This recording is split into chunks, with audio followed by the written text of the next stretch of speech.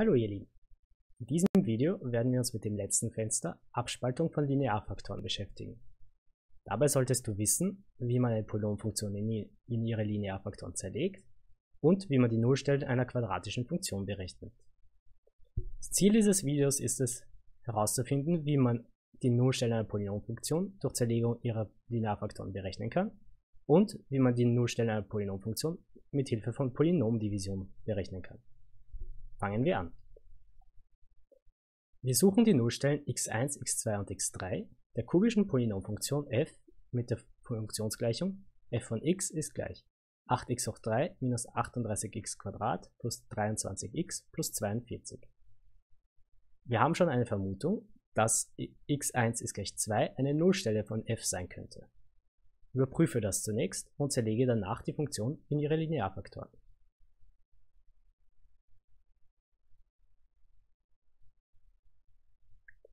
Okay, also, um zu überprüfen, ob, x1 gleich 2 ein, wirklich eine Nullstelle von f ist, ist es ganz einfach, indem wir f an der Stelle 2 ausrechnen. Und das ist gleich 8 mal 8 minus 38 mal 4 plus 23 mal 2 plus 42 und das ist tatsächlich 0. Das heißt, x1 ist gleich 2 ist auch tatsächlich eine Nullstelle. Weiter geht's. Also, wir müssen jetzt diese Funktion in, eine, in ihre Linearfaktoren zerlegen.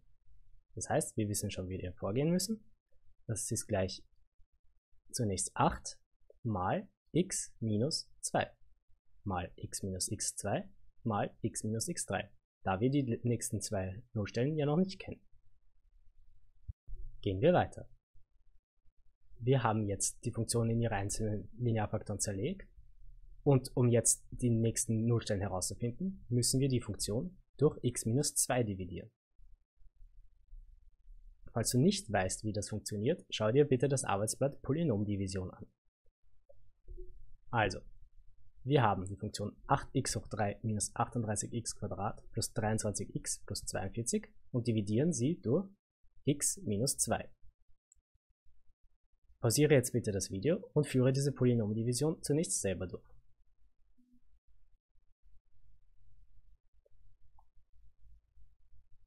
Okay, fangen wir an. Also, als ersten Faktor haben wir 8x zum Quadrat. Und wir berechnen 8x zum Quadrat mal x minus 2. Und wir erhalten 8x hoch 3 minus 16x zum Quadrat. Jetzt rechnen wir minus der oberen Zeile und erhalten minus 22x plus 23x plus 42. Als nächsten Faktor haben wir minus 22x. Und das multiplizieren wir mit x minus 2 und erhalten minus 22x zum Quadrat plus 44x.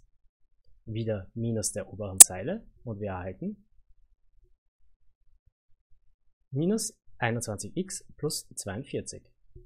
Das heißt, der nächste Faktor ist minus 21.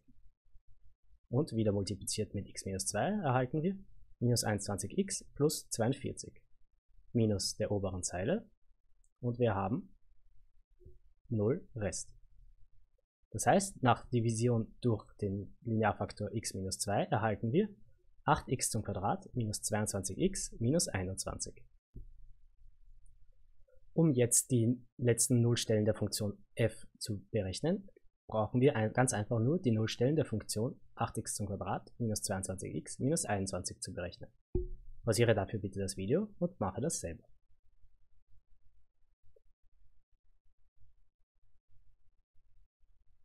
Okay, also wir werden hier die große Lösungsformel verwenden.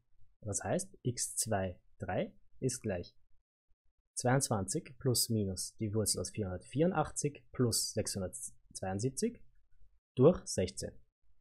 Und das ist gleich 22 plus minus 34 durch 16. Und daraus wir, erhalten wir x2 ist gleich 7 halbe und x3 ist gleich minus 3 Viertel. Also können wir die Funktion f von x jetzt auch anschreiben als 8 mal x minus der ersten Nullstelle 2 mal x minus der zweiten Nullstelle 7 halbe mal x minus der dritten Nullstelle minus 34. Damit sind wir auch schon fertig. Ich hoffe, du hast dir in diesem Videozyklus viel mitnehmen können. Bis zum nächsten Mal.